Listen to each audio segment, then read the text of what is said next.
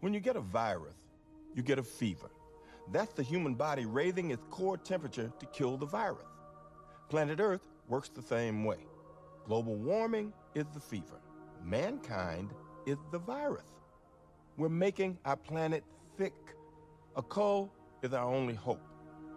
If we don't reduce our population ourselves, there's only one of two ways this can go.